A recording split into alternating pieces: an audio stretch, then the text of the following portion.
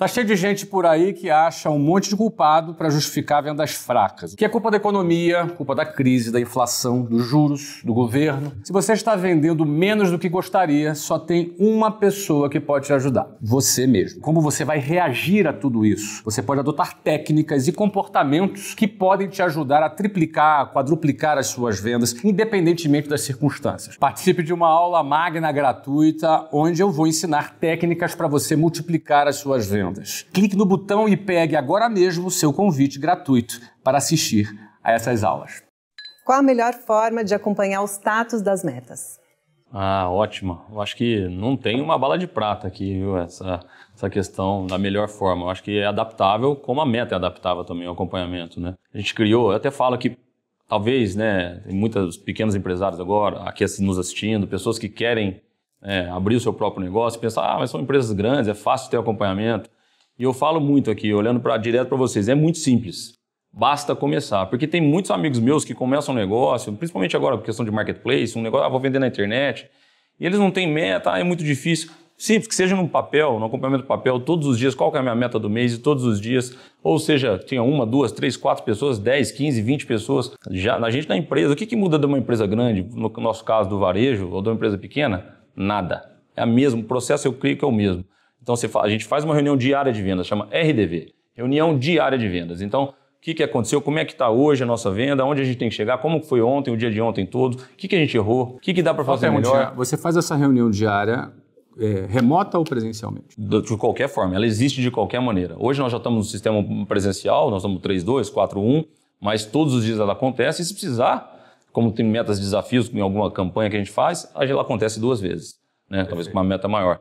Então, isso pode acontecer numa empresa muito pequena, numa franquia, numa loja de franquia que eu já vi acontecendo muitas vezes, né? Então, eu, eu costumo dizer que loja é gerente de loja. Franquia também, eu acho que no seu caso não é diferente. Tem franqueados e franqueados, com estruturas diferentes e vê que a evolução é completamente diferente. Então, acho, e aí integrando todo mundo. Então, você chama o grupo de logística, de marketing, o pessoal da produção, o pessoal de conteúdo. Como é que nós somos ontem? O que, que erramos ontem? O que, que foi legal ontem? O que, que funcionou? E hoje temos tanta, tantas ferramentas grátis, o próprio Google, Google Trends, quero saber o que está acontecendo, o que estão buscando muito na internet, qual é o assunto que eu quero falar, qual é o produto que eu quero vender. Sabe, a gente tem isso tudo aqui na palma da mão. Hoje, qualquer tipo de informação a gente consegue muito rápido. Então, é o que eu, nós conversamos bastante sobre isso, essa disciplina, essa disciplina de fazer. Então, não tem sua meta, não começou ainda a criar sua meta? Desenha a meta. Numa folha desta aqui de papel, eu tenho que vender tanto, eu tenho que produzir tanto, eu tenho que perder tantos quilos, né, Alfredo? E é só começar a ter disciplina de fazer. Eu acho que de nada adianta a meta se não tem a disciplina da execução também. Você falou que dá para anotar num papelzinho, mas eu vou perguntar para você. Vocês têm grupo de WhatsApp?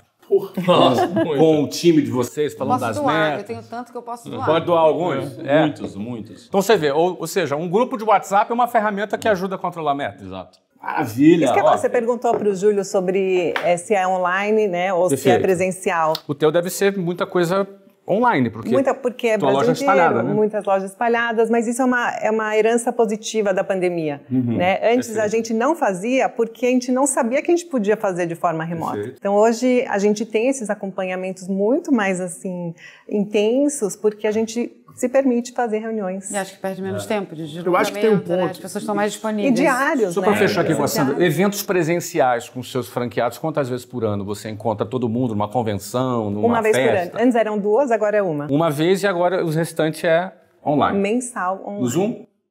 No Zoom. No Zoom. Fizemos propaganda do Zoom. É. pra você.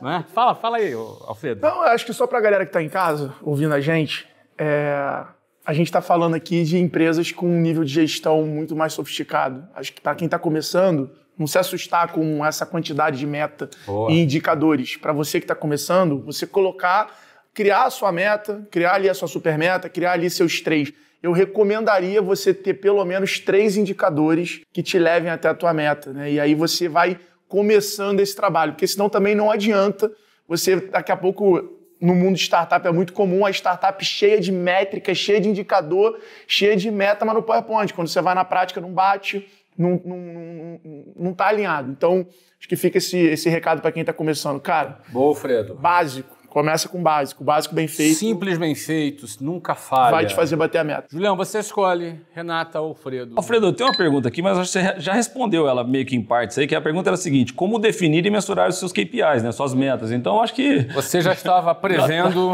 essa pergunta. Aí aproveita, Alfredo, você recomendou três KPIs, que eu vou falar que são indicadores, três indicadores para você acompanhar a tua meta. Que, quais seriam os indicadores que você recomenda para alguém acompanhar a sua meta? Então, vou dar. A gente está num podcast. Eu já tinha até anotado para falar isso aqui. Vou dar o um exemplo de três de um podcast. Então, um podcast poderia ser quantidade de episódios realizados, quantidade de horas de conteúdo, a quantidade de corte e, por exemplo, a quantidade de views que a gente quer alcançar com aquele podcast e qual é a quantidade de resultado financeiro que a gente quer assumir daquele podcast. Então, essa é uma forma de você ter meta para fazer um podcast. Então, enquanto muita gente, às vezes, ah, vou começar um podcast e o cara está só gravando, ele não está criando uma meta para ele entender qual o impacto que ele conseguiu gerar com aquilo. Né? Então, esse, esse seria, seria um exemplo.